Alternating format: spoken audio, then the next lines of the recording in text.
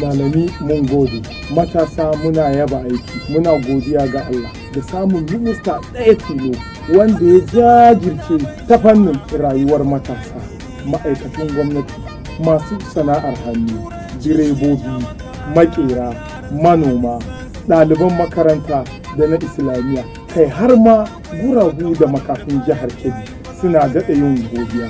Akan hakan ya sanya malami mass mobilization movement ƙungiyar da ke yada manufar ministan shari'a wato abubakar malami san ta ɗauki aniyar miƙa godiya a ƙarƙashin jagorancin matasan jihar kebbi wato alhaji zubairu malami alhaji abubakar gotomo alhaji bello nasarawa alhaji bashir wurno alhaji shafi'u zauro barista faruku ɗakin gari da kuma babban pa barista alhaji nafi'u lugga.